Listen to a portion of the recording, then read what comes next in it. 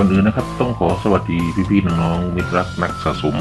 เหรียญเก่าแบงก์เก่าทุกผู้ทุกคนนะครับสำหรับวันนี้เราก็จะมาคุยกันเรื่องเหรียญ10 บาทนะครับ ซึ่งเป็นเหรียญ10 บาท 2 ปีพศก็คือพศ 2545 และเหรียญ10 บาทปีพศ 2547 นะครับ ซึ่งเป็นเหรียญ10 บาทค่อนข้างหายากราคาก็กำลังสวยนะครับ ซึ่งเหมาะสำหรับนักสะสมรุ่นใหม่อย่างพวกเรานะครับที่คิด เริ่มจะสะสมเหรียญนะครับ ควรจะมีเหรียญรุ่น 2 ปีพศนี้ไว้นะครับ เนื่องจากว่าเป็นเหรียญที่ค่อนข้างจะหาง่ายนะครับ ราคาค่อนข้างจะดี ก่อนอื่นนะครับ ก่อนจะมาเข้าเรื่องราวสาระดีๆเกี่ยวกับเหรียญ10 บาท2เหรียญนี้นะครับ เราก็มาขอกำลังใจด้วยการกดไลค์กดแชร์กดกระดิ่งติดตามทางช่องของเราครับ คือช่องแสงเทียนนำทาง เพื่อเป็นกำลังใจในการหาข้อมูลดีๆมาฝากพี่ๆน้องๆได้รับชมกันนะครับ เรามาเริ่มกันที่เหรียญ10 บาทนะครับปีพศ 2545 เหรียญนี้กันก่อนเลยนะครับ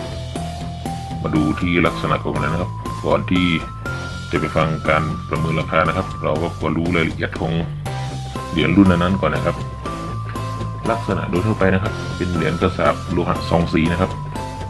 ราคาหน้าเหรียญอยู่ที่ 10 บาทตรงวงขอบนอกนะครับ จะเป็นรูปเฟืองจักรสลับเรียบนะครับ เส้นผ่าศูนย์กลาง 26มิลลิเมตรน้ำหนักจะอยู่ที่ 8.5 กรัมนะครับลวดลายของเหรียญนะครับ ด้านหน้านะครับ ตรงกลางเหรียญนะครับ มีพระบรมรูปพระบาทสมเด็จพระปรเมนทรมหาภูมิพลอดุลยเดชปิ่นพระพักตร์ไปทางเบื้องขวานะครับทรงเครื่องบรมคติยราชกุสีตาภรฉลองพระองค์คุย ภายในวงขอบเหรียญด้านขวานะครับ มีข้อความเขียนไว้ว่าภูมิพลอดุลยเดชส่วนด้านซ้ายนะครับ มีข้อความเขียนไว้ว่ารัชกาลที่ 9 นะครับ เรา มาดูรายละเอียดด้านหลังกันต่อเลยครับ ด้านหลังนะครับ ตรงกลางเหรียญครับ จะมีรูปพระปรางวัดอรุณราชวนารามนะครับ ภายในวงขอบเหรียญเบื้องบนนะครับ จะมีอักษรเบลซึ่งมีความหมายบอกว่าสิบนะครับ เบื้องล่างนะครับ มีเลขบอกราคาเลขสิบไทยและเลขสิบอาราบิกโดยจะมีข้อความคำว่าบาทขั้นอยู่ตรงกลางระหว่างตัวเลขทั้งสองนะครับ ด้านขวานะครับ มีข้อความที่เขียนไว้ว่าประเทศไทย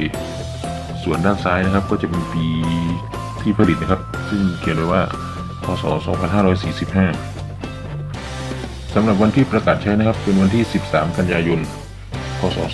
2531 จำนวนการผลิตเหรียญนะครับ อยู่ที่ 61ล้าน3แสน3หมื่น3,000 เหรียญนะครับ ส่วนการประเมินราคานะครับ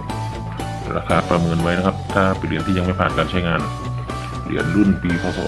2545 นี้นะครับ จะอยู่ที่ราคาเหรียญละ 95 บาทนะครับ ซึ่งราคาก็ค่อนข้างจะโอเคนะครับ ราคาค่อนข้างจะสวย ราคานี้หาง่ายนะครับ นักสะสมเหรียญรุ่นใหม่ ไม่ควรพลาดนะครับ เหรียญรุ่นนี้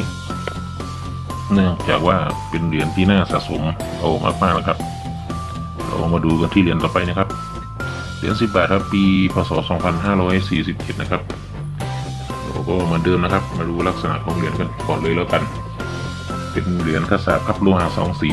ราคาหน้าเหรียญอยู่ที่ 10 บาท ตรงวงขอบนอกครับ จะเป็นรูปเฟืองจากสลับเรียบ เส้นผ่าศูนย์กลาง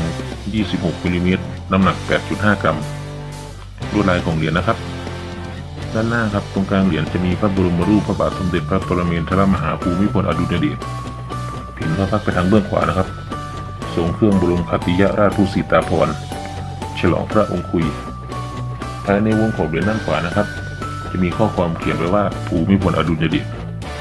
ส่วนด้านซ้ายนะครับ ก็จะมีข้อความที่เขียนไว้ว่ารัชกาลที่ 9 นะครับดูด้านหลังกันครับ ด้านหลังนะครับ ตรงกลางเหรียญครับมีรูปพระปรางวัดอรุณราชวนาราม ภายในวงขอบเหรียญเบื้องบนนะครับ จะมีอักษรเบล ซึ่งมีความหมายบอกว่าสิบเบื้องล่างนะครับจะมีเลขบอกราคา เลขสิบไทยและเลขสิบอาราบิกนะครับ โดยจะมีข้อความคำว่าบาทขั้นอยู่ตรงกลางระหว่างตัวเลขทั้งสองนะครับ ส่วนด้านขวานะครับ จะมีข้อความว่าประเทศไทย ส่วนด้านซ้ายครับ